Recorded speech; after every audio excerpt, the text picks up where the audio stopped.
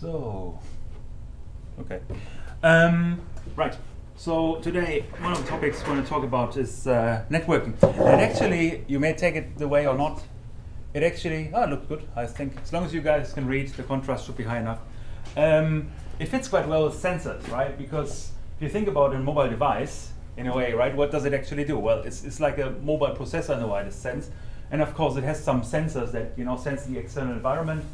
And if we think about it as an agent on its own right, and that's every time we talk about something being smart, we ascribe it intelligence to some extent, that it does something for us automatically.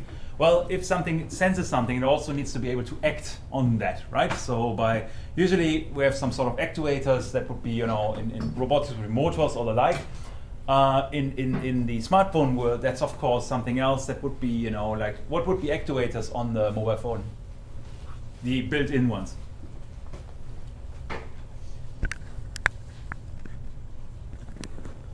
What can we use to signal something on the new mobile phone?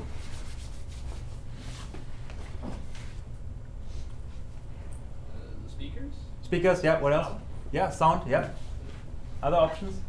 Vibration? Yeah, cool, yeah, what else?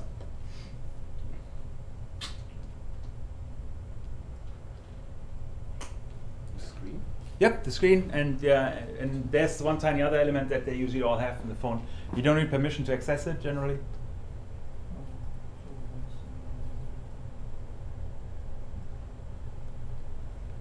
The LED for like blinking stuff, Yeah. right? So you can use that as well for notifications and so on, right? So it goes in line with the vibration kind of thing. So of course, you know, the extent to which you communicate something doing this, right, to the user is varies, right? It's situational dependent, right? Only gives you much more options in a way, screen even more.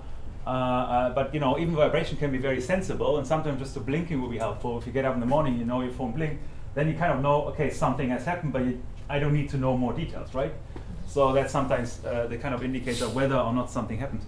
And if you think about it, complementary to the you know uh, sensing of the environment and acting in, in the environment, you as the environment. Well, one of the obvious things that are similar to sensors, but actually like two-way sensors, uh, is basically communication, right? Where we send something out, usually get something back in a way, right? So it complements this acting on the environment quite well, but usually into uh, different dimensions, right? To you interacting with web services, calendars, uh, you know, uh, your service in the widest sense, um, as opposed to the user. So it's more centered towards the network, but fundamentally it's quite related uh, in, in, in its functionality. So kind of sensing and networking kind of belongs together.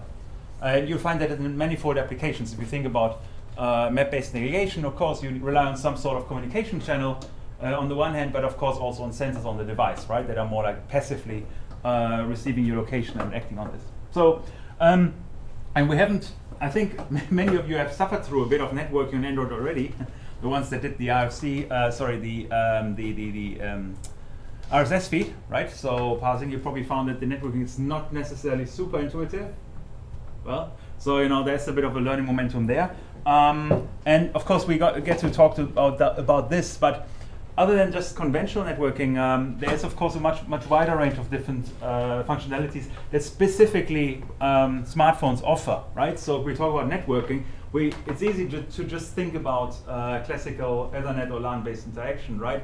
But actually, if you yeah, that's that's a bit stretched here, so I'm I'm I'm to be blamed. But the idea is that a networking is uh, much more um, uh, you know, holistic concept uh, from a technological viewpoint because it extends both from communicating on nano level, right, so having individual uh, small devices uh, interact on very close distances with very limited power opportunities, and you know, um, for example, if they are supposed to uh, um, be injected into biological entities for tracking for individuals or interaction with, within individuals and so on. Um, but also, of course, very wide range uh, kind of concepts like the classical one, the wide area network, right, which we kind of equate with the internet vastly or largely. Um, so we need to bear in mind there are different kind of scopes of networking. We need to be sure which ones we're talking about. Another, uh, or different from most other courses, and specifically the, um, um, you know, for example, cloud course, we, we mostly concentrated on uh, what kind of spatial scope? You all did cloud computing? What were we mostly thinking about or worrying about? which which scope? Did we work more on the you know kind of what scale? Did we work on uh, a local internet scale or did we?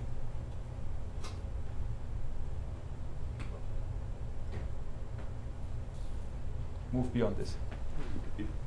Working the internet as a whole, right? primarily, right? So the idea is that if you expose something on AWS, unfortunately, you can't just think about your environment, the people in your room, that may be your potential, you know, attackers or whatever else, but actually you need to think about anyone, right, globally. So it kind of it's a matter of scope. And this here kind of delineates the scope from wide area network to um, what was that one here? The second one. I can't even read this thing. Sorry for that. That's on me. Um, uh, I don't know. So, uh, and then this one is the metropolitan area network. They have campus area network and so on. Uh, local area networks, as you guys know, right? The convention we think about. What's PAN? What, what? So- Personal yeah, exactly. Right. So, what, what- to what extent do you think that it's you know reaches? Maybe just a computer, just my personal computer. Maybe a group of two. Yeah. So yeah, uh, the idea is more that this moves into a bit of to, uh, towards the mobile space where it actually surrounds uh, you to some extent, right? So the area network that is relevant to you. If you bring your laptop, of course, or your devices along, you should maintain connectivity or interaction with the, with you know the relevant environment in that scope, right? So uh, so there's mobility aspect in there, and then even even, even stronger. This one here, BAN. Did anyone hear about? You can't read it. It's B A N. Sorry for that body area network. So it's getting more immediate, right? So it's even closer. It's not only in the surrounding anymore, it's really literally on my body, right? And um, the reason why we differentiate between those, of course, uh, is because there are different use cases and demands, right? So, for example, latency requirements for metrics along the body are probably way, way higher. But even worse so, um, our ability to, we're talking about mobility, our ability to uh, have power at our avail is very limited, right? So smartphones, we, we know it, right? They are, telephones used to last half a week. Nowadays, they last one day if we're lucky. So, and you know, and if you think about sensors, communication, and so on, uh, then we need to think about power in a different way than we need to think about it uh, on on higher level networking concepts, right? And here, for example, throughput is much more decisive. In this case, it's just the fact that we are connected that's interesting, right? So that we can actually uh, send, uh, uh, uh, you know, get get some biometric in, um, measures and collect them and so on um, and can facilitate this using some sort of networking technology. So there, um, that's why I'm not only talking about okay, how do I get stuff off the internet so you can solve your RSS feed problem, but actually more wider. Okay, what different kind of uh, networking uh, interaction options do you have on Android? Some of them anyway. In fact, very few of them, but I think some of the more perhaps interesting ones, uh, including the ones that are relevant to you, of course. And um, one area that's sitting kind of between the body area network and certainly above the nano area network, which would be uh, yeah, um, a, a bit of a um, narrow conception, it would be NFC, for example, right? Near field communication. You guys have come across that. Who has used that in practice? Oh, cool. When you NFC, when you pay stuff, you can use your phone Yeah, as a credit card, and it uses NFC to pay. cool. Yeah. Anyone else? Okay. Well, um, that's right. So for that's currently the hot application for it, right? Uh, Google Pay, Apple Pay, all those, right? So they're kind of coming out of the trenches and uh, kind of figuring out if, if we can actually put into practice. And they are not the first ones at all, right? So they have been long-lasting. I think BlackBerry was way earlier. Uh, does anyone remember BlackBerry or know what BlackBerry? Yeah, somewhere, right? You, you heard it when it came down, right? So uh, it's basically at the at the end of it. It was very hot in the mid 2000s as a kind of corporate communication solutions that integrated the backend servers with uh, mobile, you know, with smartphones. With and the characteristic of them is that they all had keywords, like fully fledged keywords. Um, but anyway, so they were largely overtaken when the iPhone came out and then Android subsequently. But they were quite, quite, quite um, uh, ahead with the whole concept. But of course, they didn't capture the consumer market because they were more focused on the business uh, corporate context. So NFC, and of course we have wireless LAN and wireless sense or networking as you know it, uh, which we also briefly discussed. No, we discuss it as well. But I think this is something uh, I'll give you rather some pointers to, and you'll be able to figure it out quite, quite straightforward. Uh, whereas NFC, I think we it's probably interesting to get a bit of a um, background. Um, at least I think it's sensible to talk about because we, we, we, we, you guys will use it.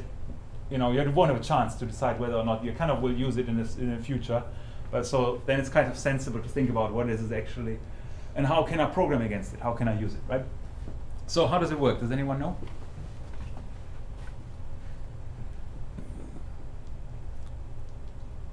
Yeah, and there's another technology that sounds that has seemingly similar functionality. That was a bit more earlier, like you know, 10 years ago, everyone's talking about that stuff. NFC is kind of a bit of a hot recent thing. No. Anyone here of RFID before?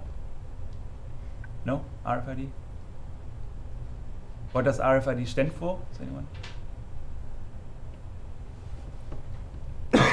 or what was the purpose?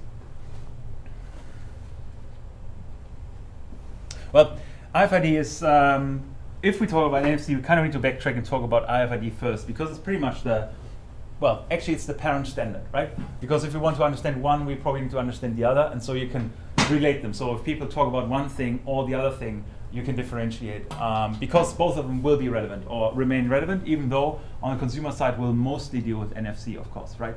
But depending on your future endeavors, that may well be um, slightly different. So RFID is um, the, the, um, yeah, short for radio frequency identification, and the main purpose was simply to well identify individuals unambiguously and wirelessly. Right? So you know by having the, in Norway autopass, for example, right? So you want to um, uh, you know, no, you don't want to, but you have to pay on toll roads. So uh, in order to do that, right, you can either do that by them taking pictures of you and sending you emails, uh, sorry, sending you, you uh, invoices, or if you want to manage easier, you have this autopass tag thing in your car, right? So and it basically registers every time you pass a, a, a toll booth or gate, I guess is the term here, uh, and then you know they collate and send you um, the, the, the, invoices conveniently. So, and this was indeed one of the, well, it's the second kind of um, application um, of uh, IFRD originally, in, even in 1973. So we need to, you know, Norway is hot and current and, you know, we have the latest tech here. But 1973, that is like serious, right? So in 1973, it actually came out in New York as a kind of prototype for uh, managing and paying on toll roads, right? So it's by no means a, you know, uh, uh, you know, millennium style um, technology in a way. So, um, but of course, at that time, it didn't really operate based on uh, ra- radio frequency per se, but actually used sound and light. Right? So there was some, some light emitting uh, mechanisms uh, or, or sound mechanisms to facilitate this. And even earlier, similar mechan- mechanisms, audio specifically, have been used for spying uh, in yeah, 1945. In fact, that's a um, um, Soviet Union era kind of uh, uh, in invention in the widest sense, but it only worked based on audio, right? So the second uh, iteration included light um, in, um, operation as well, because they realized if you use cars, well, you know, sound is not the you know the, the, the, best possible means of transporting information. And then in uh, '83, the first patent came out in a way, um, and that was kind of the predecessor of the modern radio wave-based uh, RFID, the one we kind of think about, um, and that has found introduction into um, various application areas. So what's the principle? Well, it's about, about identifying, number one. Number two, there's this thing about being active or passive. So basically, um, the idea is um, you want to ensure that the identification is reliable and should ideally work without um, external power sources, particularly on the you know tag side, right? So um, because if you have the autopass thing, I'm not sure is it actually passive or active. I think it's passive, right? It doesn't have any uh, power support uh, in, in itself, right? So otherwise, it would be pretty inconvenient if you you know only can um, you know use it every two months. You need to recharge the battery or something like this, but you want to use it persistently. So the idea is that we can have a concept of passive tags that don't need to be powered but nevertheless work, right? So um, and the other aspect, of course, is um, the technology should have dealt with very um, distances, right? So reaching from very close distances like 10 centimeters to or the like to ranges of up to 200 meters, which is considerable if you think about it, right? So if you think about uh, uh, um, um, um, identification technology working on that distance, that's seriously creepy, because any you know, any drive-by would be unproblematic. So um, how do they actually look like those tags? You may actually have seen and found them times or somewhere, perhaps even in your clothes. Um, that's the classical setup. Most of the space is wasted for um, antenna technology, right? So because that's the key thing. Uh, and you will appreciate in a second why the antenna needs to be so large. Why does the antenna need to be so large?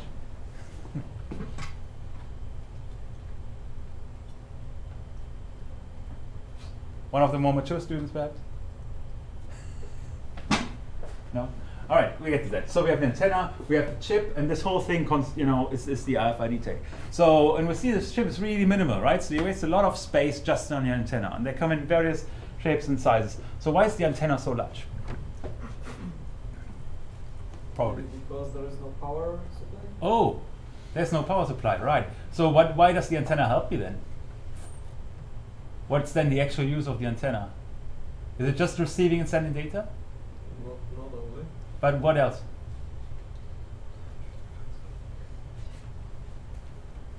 I like those kind of students. Come on, Les. Please. This is a wild guess, but that Yeah. image looks like a coil. It might generate some electricity. There you go. Right. So, what did we learn in physics about this? What's the concept? If you have a magnet over the thing, like you'll generate induction or whatever. Correct, right? So induction, that's the induction principle. That's precisely the purpose of it. Yeah, it's uh, very correct, right?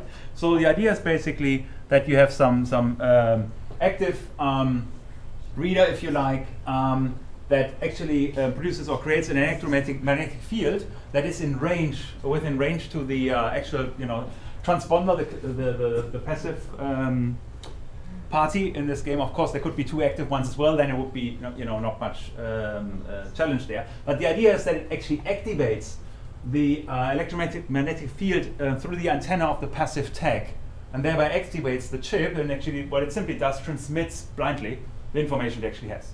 No authentication, no magic. It's just transmitting whatever payload it's supposed to transmit. That's why the principle of simply identification, right? So unique identifier, that's it, no magic, right? You, you just don't per se store data. You can, of course, but the uh, use case is generally that kind of thing, right?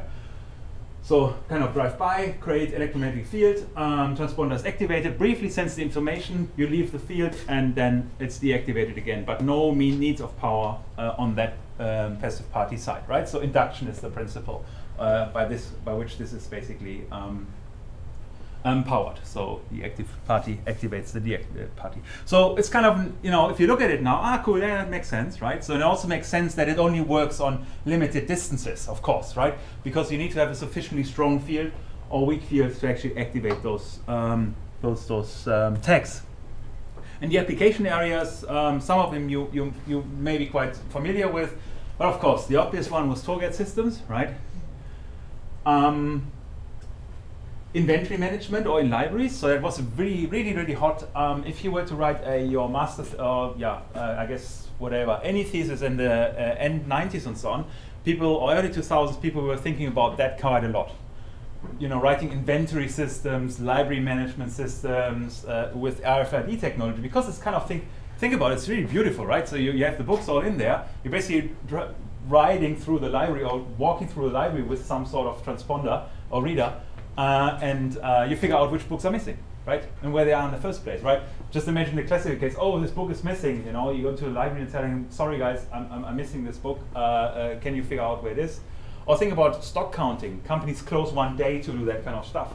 If you have sufficiently large items, you know, um, that in, in retail or so on, that you actually sell, clothes as an example, stock inventory management becomes a no-brainer, right? At least for those items that are identified this way, because you immediately know the stock. Let alone, of course, any you know the related uh, benefits with respect to security, right? So you can actually uh, identify whether it's a pass-through of clothes. There was a big discussion as well on privacy at that time, because when uh, clothes were started to be identified with tags, the question was, well, when you leave your you know your store and you're actually you know wearing your clothes, will you be perpetually be able to be identified by other stores by just walking in, right? Because it's basically a passive RFID tag, which is doesn't have any authentication, any security, it just sends blindly every time the payload it has to any transponder, right? So the obvious solution was to destroy the RFID tag every time you buy the item, right? So only uh, uh, the active RFID tags would leave the store, therefore this process wouldn't happen. But you never know, right? So, uh, so if you think about it, there's some possible creepy applications that could arise from this kind of uh, tag, right? Here, supply chain management, big thing, right? Um, quality assurance if you send an item.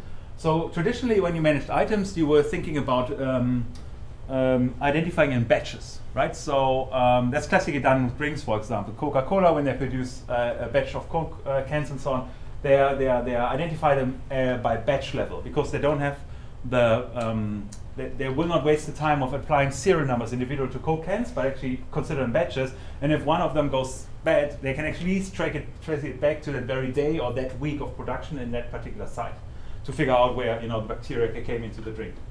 That's on the stream shit. Anyway, it's not a claim; it's just the hypothesis. Let's say any you know uh, fuzzy drink, uh, uh, fizzy drink company that could have that issue, right? So there's Pepsi as well. So, um, but point is. Um, using this mechanism, of course, makes it a lot easier, right? If you have high-priced items, think about industrial uh, level items, of course, um, but even smaller scale technology items and so on. It's so much easier to track them back individually, and they don't even need to think about batches anymore, right? So you kind of you can even rethink your supply chain management quite a bit and uh, your, your data associated with this, because you can simply go back into a retail store, figure out the ID of this particular item uh, based on the RFID tag, and it can tell you which pathway it actually took through the entire chain and you know where potential issues could have happened, right? So uh, yeah, the more obvious cases, access control. So and at this stage, um, if I ask you again, how many of you have used RFID before? What would be your answer? Yeah, anyone else? Cool. You, you have tech cards to get into rooms here, right? How many of you use them? Everyone, right? So you kind of use RFID. So you know you're actually using it, right? So I'm not sure what what tech is behind it. Is it NFC specifically, or is it uh, a different proprietary RFID tech? Good one, right? I don't know. We can I figure it out. I, I suspect it's just a normal NFC. Okay. Yeah. But anyway, so but in any case, we are using actively RFID technology, right? So it's very common nowadays already for access control. We know it, of course, and simulate personnel tracking if you have those gates and so. on. Big creepy. Um, lucky we don't have that yet. Perhaps we do. I don't know. But anyway, um, so um, generally, so there's a lot of uh, ranges for applications of, uh, that you can think about, right? So both in an, an industrial context, retail context, but also in a in a, in a, uh, HR context that are uh, kind of relevant. And they come in various shapes and sizes, right? So very small ones that cost a few cents in a roll, or unique, uh, uniquely identifiable by uh, um, writing identifiers um, to them and so on, and all different shapes as well, right? So for example, books, um, those would be more suitable, for example, for DVDs, right? So they don't um, uh, create an um, um, uh, how do you say? Um, you know, so the, the, the, their rotational um, speed is not affected, right? So the balance is not affected of the uh, those ones, uh, and so on. So you, you can apply it to different kind of concepts. Uh, books, for example, find those kind of RFIDs quite um, quite commonly. Um, so yeah, so different forms and sizes uh, that are available. The problem is with RFID that it's not one single thing. Yeah, it's a set of standards or different uh, um, specifications um, that are all under one umbrella. So they have been uh, ISO specified, uh, ISO um, certified. Think in the mid 90s or something like this. I uh, would need to look it up again, but quite some time ago, in fact. And they have different uh, subcategories, right? So we have a uh, the lower range is up to 10 centimeters. Um, which of course are very low data speeds. Then we have uh, up to one meter, which are considerably higher, and they all work on different bandwidths, right? So um, it's quite quite relative when to know because um, the question is here: most of those uh, bands are actually reserved for specific purposes, right? So most commonly, if you think about you want to do have an industrial application, you need to be very wary about the ISM band. What is that thing? ISM?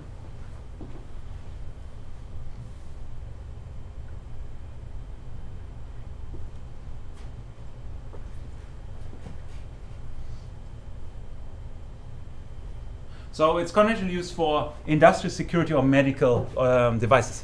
So it's reserved for that purpose. So if you muck around that area, you need to be very, very cautious that uh, you know um, you, you you may actually um, interact or interfere with those devices, right? That's why the, the string string concern about you know there was always this issue with using telephones in hospitals, kind of thing, right? Especially Wi-Fi capability. Like in planes, it has been yeah, whatever, you know, soften up, and people, I think, have enough empirical evidence that we apparently don't really interact with the navigation system of the airplane. So in the meantime, we can largely use phones on planes, right? But that's kind of that's where this very uh, rigid security transition um, uh, protocols come from to to limit our use of those uh, transmission technologies. But if you find, um, so if you look at it carefully, of course, you have extension in ranges. You have extension in data speeds and so on, and of course different forms of applications uh, associated with this. But most importantly is the fact that they're regulated or not. And you find that applications up to 10 centimeters, distance 10 centimeters, are inherently unregulated.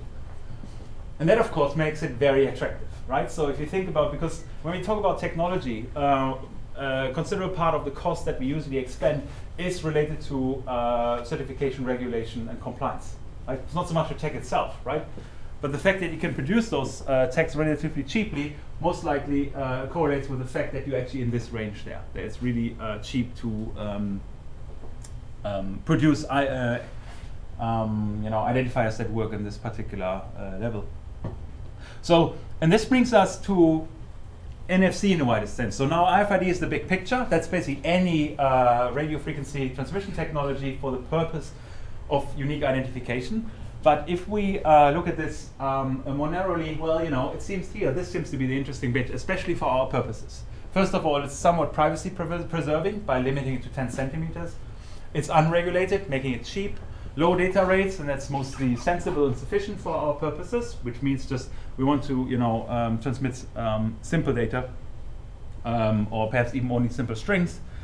Um, so that, that's why um, NFC has kind of crystallized out of this one as a um, kind of industry standard de facto for consumer-based communication. Please. Uh, how come how come the data speed gets faster the further the range is? Well, you use more power implicitly, right? Okay. So basically, by in having uh, having stronger stronger electromagnetic fields, they can transmit more energy. Basically, but that's that's a nice one though as well. Actually, spot on. I should have mentioned that one.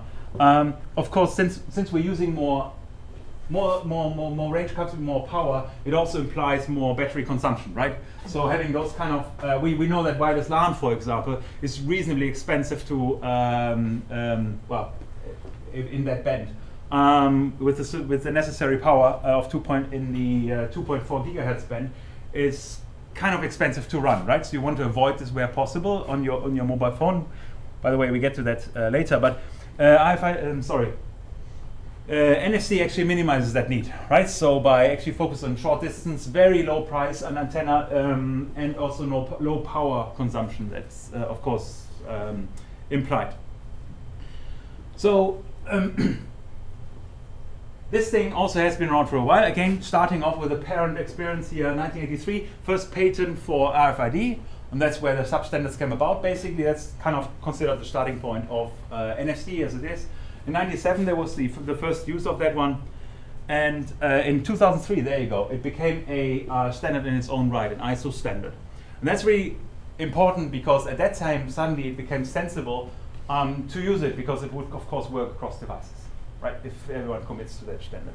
So uh, the, the, the, the, the grounds for actually using it uh, practically on a consumer level with a you know fragmented um, device scape um, became sensible here. So First Android use, since we're talking Android, was in 2010 uh, on the Samsung flagship at that time, the Nexus S, had NFC tech uh, involved. And uh, in the past few years, past three, four years, um, became increasingly common to think about payment solutions for that one, right? So there were a lot of priors that kind of were, were removed again, but I think Apple Pay and Google Pay are here to stay. Was a rhyme. Anyway, um, so um, that's that's definitely something we're dealing with uh, in the longer term. And this whole thing is kind of, or the standard is largely managed by the NFC Forum, which is basically an industrial consortium or industrial interest forum in the widest sense. So the manufacturers actually come together and decide what the standard is, um, how the um, exchange protocols are for uh, for those um, for those tags and so on. So you can use it with um, devices across different manufacturers.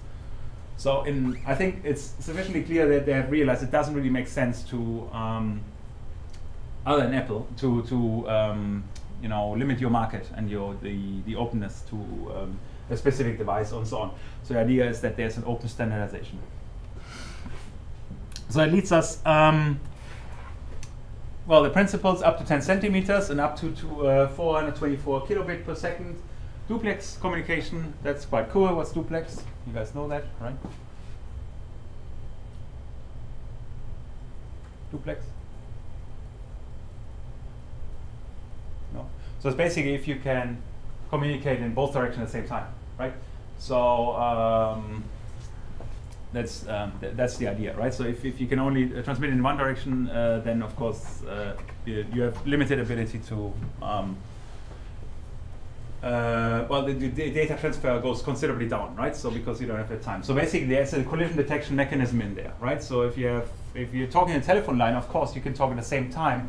But um, if you look at the semantics of your communication, it will probably be pretty hard to figure out what you're actually talking about, right? Because you're polluting the uh, telephone line at the same time, right? Whereas if you do it sequentially in a kind of uh, systematic, uh, simplex kind of interaction fashion, so one person talks at a time, it works. But here you have duplex communication, so if both channels transmit at the same time, you still be fine, right? You still transfer information.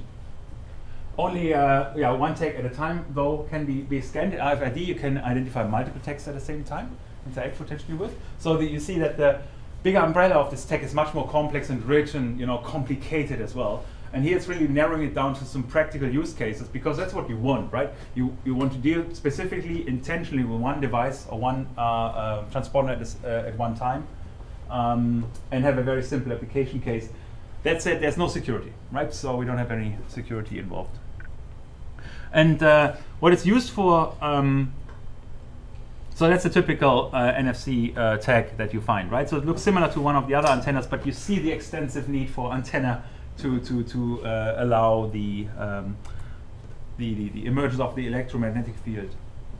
And classical use cases on mobile devices, Android specifically, apart from the payment thing, of course, which is hotter, is also that's kind of neat way of doing uh, bootstrapping communication, right? How do you how you pair devices? How do you share secret key and things like this, right? Really cool, actually holding them together and they actually exchange the uh, um, you know pre-share key or the like for any sort of other more advanced encryption. And then you, uh, following this one, you switch it off, and then just use the other communication mechanism to to establish um, the actual interaction, right?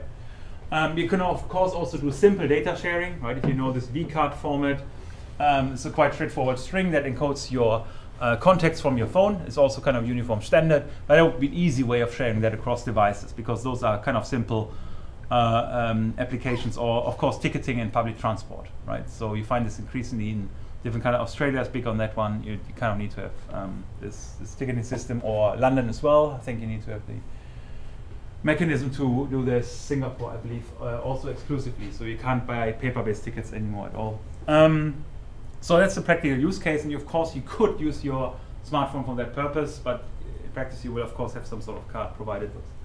So yeah, so then the neat part is okay, we can actually uh, use that to some to some um, extent. So uh, if we compare, just to get a feel, I didn't talk about Bluetooth because it also fits in the category. In fact, Bluetooth is usually found a slightly higher level in the PAN area, personal area network. You know, because it also reaches up to 100 meters conventionally, right, in terms of, of uh, reach and interaction. Um, and it's still um, not centric to you only, but also uh, in, involves potential interaction with your, you know, peers and stuff um, around you, which is not the case for NFC. But if you look at some of the points here, uh, how much would a tech cost that would be Bluetooth enabled? Well, you know, you're sitting at five bucks. Here, you're sitting at ten cents, right? So it's quite a quite a vast difference that uh, suggests that it's you know much more um, practical actually to, of course, use it, right? So we have um, point-to-point communication, so one-to-one communication. Here we actually have a you know sh- shared network basically potentially amongst uh, individuals in a given range. Range is limited and so on. And um, yeah, so the, the power consumption here is uh, yeah, it varies vastly with Bluetooth, but considerably higher. But it's really really low. In fact, Bluetooth uh, low energy, so um, gets close to that one. Um, the low energy profile would um, reach that as well. Okay, so bring it back to Android to some extent. So uh, because um, that's what we kind of about a bit. But I think it's still worthwhile to talk about it. So you kind of put the um, terms in the right buckets, right? If you hear uh, NFC, RFID, is it, you know, what's the difference and so on, right?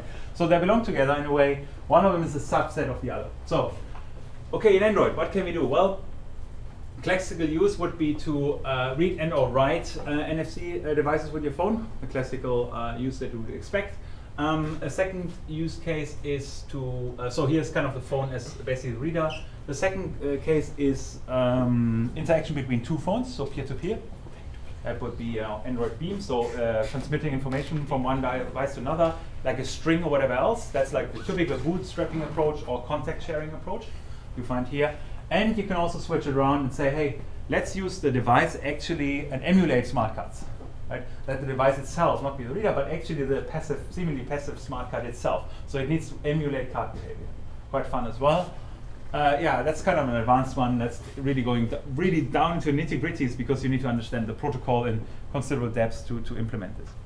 But we talk about it uh, about some aspects here. So at the root of this entire uh, or the uh, interaction that is relevant for for you in the widest sense as implementers potentially is the NFC data exchange format. At least some aspects of it are relative uh, importance. So the so-called NDEF. Um, um, so that's that's uh, of course what we need to briefly um, need to talk about. And the rough operation would then be in very practice would be well, you know, you get this NDF, so the NFC data exchange format from that tech and read and process it on the device, right? So uh, Android Beam, that's what I mentioned before, and here we have the host. They're called host-based emulation, the third case, where um, the Android device basically um, uh, anytime it's activated by an external uh, um, uh, NFC source, it basically hands it to the host and lets you, your app, in, in this case in particular, emulate the card behavior by actually transmitting NDF packages back. Right. So that's the rough um, um, principle there. So uh, before we look at the protocol, I want to relate it to something you know. Um, if we talk tra transfer protocols, they usually come in layers, right? And one of those, uh, sorry, not pro communication protocols, they come in layers. And one um, you actually know quite well, hopefully, is the ISO-OSI protocol. And that's where I hand over to you. My standard question, every lecture, I kind of, now every, every course, I try to fit it in, even if it doesn't fit at all. Uh, but in this case, it actually does. So what are the seven layers? Oh, I gave something away. Right. Anyone? What's the lowest one? Physical layer, Yep, and then? data layer, yeah, more, more explicitly? link. There you go. Data link. Data link, yeah, yeah. What's the next one? Networking layer. Okay, someone else, please. I know you know your stuff.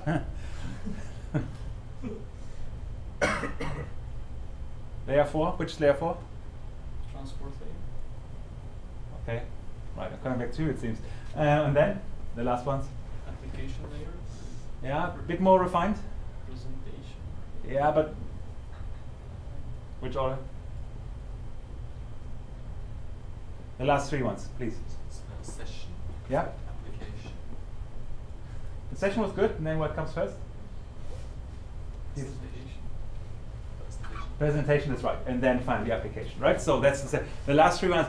In fact, I can't blame you at all because they're practic- they're, they're conflated and practically uh, practically ir- irrelevant. Most protocols actually conflate them anyway, right? So the session initiation is often tied to the presentation and the transport, uh, the application level protocol. So that's fine.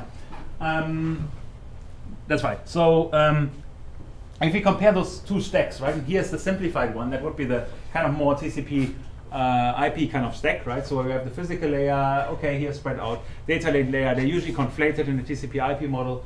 Um, and then we have the, the internet layer and the transport layer and application layer. And if you see, if you look on the left side here, that's NFC.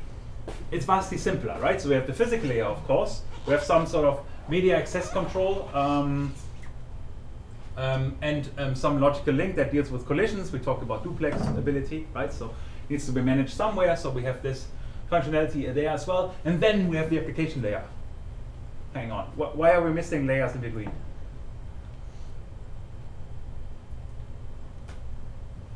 Why do we get away with those few layers, so few layers?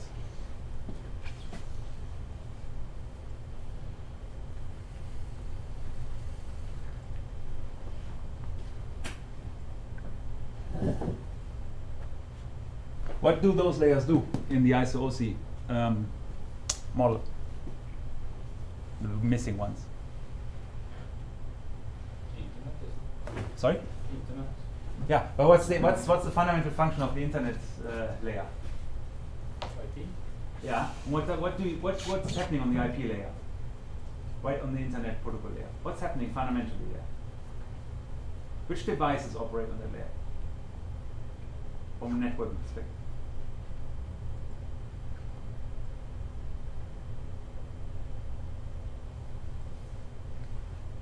How you know how how how's, how's what are the devices uh, through which data is transmitted, transmitted from one point to another endpoint.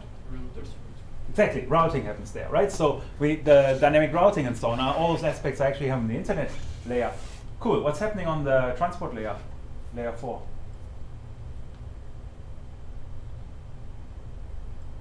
You're defining the port. Wh- What does that mean? Uh, it uh, specifies the application in your PC that it's Correct. Correct. That's basically kind of host-based routing, right? So it's kind of figuring out, okay, I figured out the host. Now I just need to figure out which applications of those 64,000 potential applications or services is actually affected, right? So we have routing, so routing across the entire infrastructure, and we have the matching of applications. So if you don't see that on the left side, what does it tell you about NFC?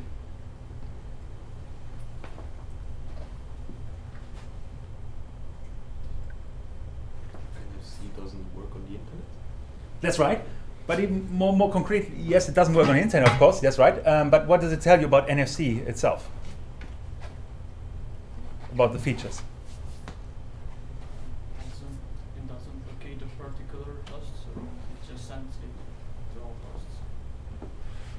Yeah, exactly. There is nothing like that, right? There's no routing concept. There is no multi-hop, you know, uh, routing across different devices or relaying information. And there's also no multi-services concept on a particular host and or device, right? It's just packaged from here to here on a specific, uh, with a specific interface with a specific format. Very simplistic. It says you some, tells you something about the simplicity of the mechanism, right? So it really doesn't have that functionality, right? So that's quite, uh, uh, uh, quite, quite, quite relevant. So, but it also tells you something about understanding the ISO-OSI reference model because you can easily allocate functionality with particular layers. If you find another uh, related technology uh, that they're absent, you know that they will not have that corresponding functionality, right? So it's quite helpful. Of course, we need physical, we need some sort of coordination of some protocols, so base protocols for interaction, who speaks first, who speaks seconds, how do we deal with conflicts, that kind of stuff, right? Um, so uh, the collision detection, uh, for example, Ethernet would be on this layer here as well. And then simply, well, you know, how do I get my string across from A to B, right? And this is the higher level up there. This is where basically this uh, NDEF, this exchange protocol comes into play, which is fixed. And that's the thing that all of them speak or read, doesn't matter, but that's it, right? So it's no more magic uh, other than this one, right? So, and this is an NFC um, message as specified by the um, NFC forum, basically. It's a message consisting of multiple records, and the records have corresponding headers, payloads, and the headers identifies the payload, specifically the identifies the payload uh, MIME type, right? So the uh, multimedia extensions type, is it text, is it a URL? You know, it basically just uh, provides that information. You guys know MIME types? MIME MIME types? No? Text plain, application JSON, like those kind of things, right? The general type of um, of, of, of uh, application that deals with this kind of thing, and then more specific what it is, right? Application sound or something like this, or um, I think application OGG would be one, right? So uh, it tells you something about generally it's an application that deals with this and what type of data you're actually dealing with. So, so in emails, it's basically how it's encoded. We can talk about this. Um, um, I actually can just bring them up for for clarification purposes, so we don't leave anyone behind here. Hang on.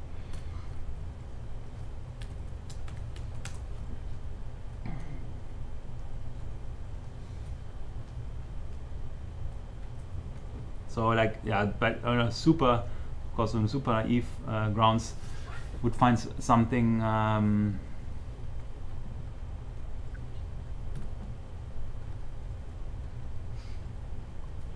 like this. So it basically says, well, you know, here um, if in this top example, so we, if we have text and this, um, basically the string or this data, this payload will contain text, and this will be just be plain text. It will not be formatted according to UTF-8 or any other, you know, uh, um, uh, advanced um, character set of formatting conventions. Or if it's just an application, but we don't actually quite know what it contains, we say, well, application plus, well, it's a stream of octets, right? So um, quite, quite generic um, uh, specification. Or we know, for example, it's video. Well, that's good enough. Some video application takes care of this, but it's kind of it has this codec or this this um, you know string identifying the codec we're dealing with. Any application that can deal with this, please play this thing. Um, good luck, right? So or here we have an audio type, and AAC is the encoding, for example, right? So that's that's that's what MIME times are. types are. So basically, it just uh, describes the nature of the payload. Yeah, and text plain is a typical one um, for that particular um, purpose.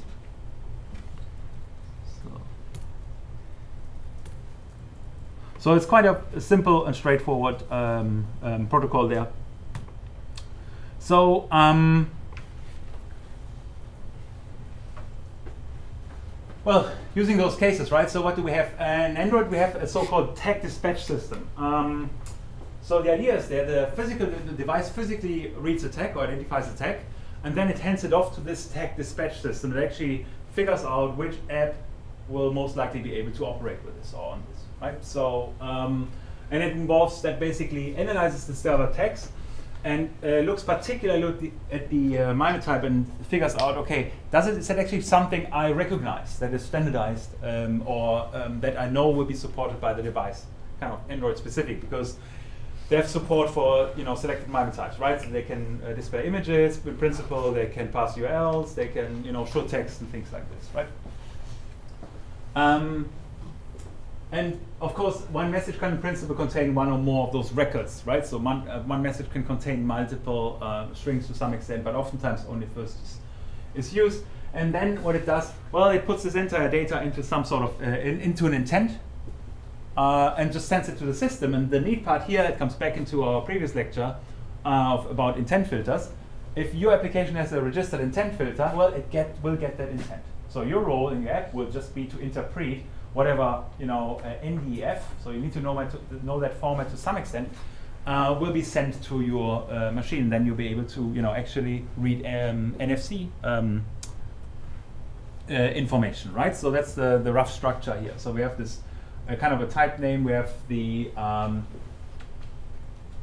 indication as to whether the uh, record is, is, is well known or not. So it kind of differentiates um, between records that are well known and some that actually simply don't know. So um, it will still send it to the to the actual uh, system and then try to find a corresponding app to um, operate on this.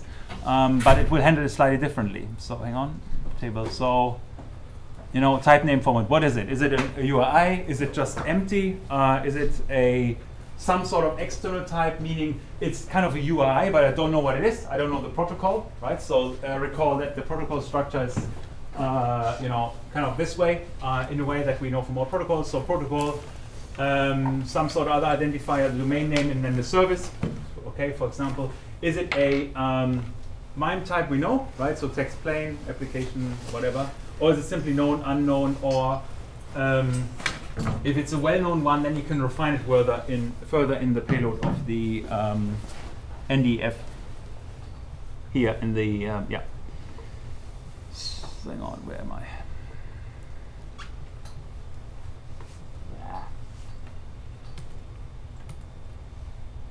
So, and that's how it works. So, right. So we have a uh, if a tag is um, tagged right by your device by the uh, NFC-enabled device, it will either say, well, you know, we discovered something um, we actually know about uh, a known MIME type or the like, so we actually kind of know the target application already is. Um, and then if they are, if it, it, will scan your phone, uh, the specifically the um, identified or um, intent filters, right? And figures out, okay, is there any app, any activity specifically on the device that will receive this intent, right? It goes through the intent filters and see, uh, checks if there's something like that registered.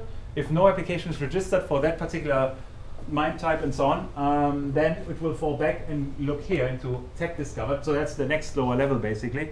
Um, uh, in which the, the, the, kind of the payload is not explicitly characterized, but it's still a well-formed NDF message. It's just not sure what to do with this. Is it infrastructural information that's commit, uh, submitted here?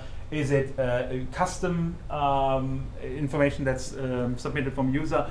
Or is it simply protocol, protocol specific data? Because there are different, yeah, of course, as in usual life, uh, certain sub um, um protocols that are available and that can be communicated using the um, using those kind of tags. So basically, if the MIME type is not registered in the system, it downgrades, okay, am I not interested in the payload? Perhaps I'm interested in the technical information that's associated with the NFC tag in the widest sense. Um, it checks, well, is there anything registered that deals with this? Okay, if it's still not, then it says, well, you know, I found a tag. Good luck. So you know, like it just says whatever. Here's something. I, I'm done with you know figuring out whom I send it to. I just um, send it to any intent that has uh, uh, listens to tag discovered. Basically, th- so any intent filter that says, oh, whatever, you know, that's kind of the, the, the uh, wildcard catch all intent filter. If you have something NFC related, send it to me, please. That's the kind of uh, intent filter it's looking for, right? So it's getting from more specific to more general, right? So it's iterating through this uh, in this very fashion. So that's the Android approach of doing this. And practice is something like that. Well, you need permissions to read NFC, of course, right? You may or may not get them. Surprise, surprise. Um, here, um, of course, this information is pretty much plain um, Android um, API specification. If you want to um, show, have an app that only shows up for phones that are NFC enabled, you kind of need to ensure that this, you put this in a manifest because it will guarantee that only phones that actually have NFC will um, be presented with your app right? So if your app in here relies on NFC, it's no point showing it to anyone, so it's quite important.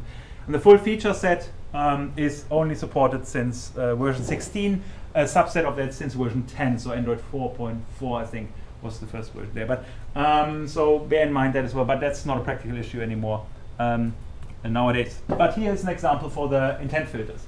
So if you're now thinking about, I want to do NFC, pretty much the only thing or starting point of the nearly only thing you need to do is to create one of those, right? So you have an intent filter that is attached to your application component, like your activity in this case, right? Uh, and it basically identifies, okay, well, you know, I'm interested in getting information of any uh, NFC um, uh, tag that has been discovered. Um, this is the kind of the default category that needs to be specified everywhere. We'll recall that perhaps. And it also says something about the MIME type you're listening on, listening for, right? So if there's a tag discovered that corresponds uh, has a, a payload, sorry, a payload that corresponds to this MIME type, then please send it. I will receive and deal with it. Yeah, if it's text. If it's URLs, slightly different here. So basically, it's just the only thing that changes is that instead of specifying the MIME type, you specify a scheme. You basically say, well, you know, I want to um, uh, listen to those particular um, um, URLs that are related to uh, HTTP as a protocol, uh, a host, Android uh, developer Android and so on, and a suffix like this. Only those tags that have that payload is something I will receive. So basically, you can narrow it down, right, uh, by, by being very specific about it. But you can also be quite um, um, creative in a wider sense and invent your own MIME types. So if you have an NFC tag that you can program, and you can program it with your own MIME type that you make up, basically, a string, right? That's fine as well. You can listen against those as well, right? So this way you can actually have your own custom or proprietary or whatever else uniquely well um, closed system in the widest sense, right? By by no well technically closed is relative because anyone who can read your system can of course read the MIME type, so it's not secure, but it's closed in the sense that most likely only your app will listen to the corresponding uh, text. So it's a good way of isolating from other uh, from other NFC tags, right? So it's quite neatly neatly solved in that particular context. Um, right. So when it comes to the tech tags, you recall they had this um, more advanced um, focus on text. The, the the tag tags basically look at specific characteristics. We're just interested of NFC tags of one of those specifications, then you can narrow it down on that level, right? So NFC A tags or B tags or F tags, basically there's always iterations and versions coming out that are slightly different in terms of the protocol and the encoding. And if you're interested in that, then you can you know filter this as well. Um, so if you want to filter tech tags, you need to specify what you're interested in, in as a resource. So you need to have a resource specification that says that's the stuff I'm interested in. And then link that against an intent filter. So we have an intent filter with some um, um, uh, um, pointer to actual resource. So it's XML um, formed resource and it has this particular name. So basically points back to the original resource. Cool. Um, I think I give you a bit of a break um, because we're slightly over time already. So uh, let's say 20 past. Yeah? And then we're slowly switching over to networking. A few more words on NFC, um, and then I'll leave you in peace with this. I think it's still worthwhile learning or talking or hearing about this to some extent. Um, that's why I put it in.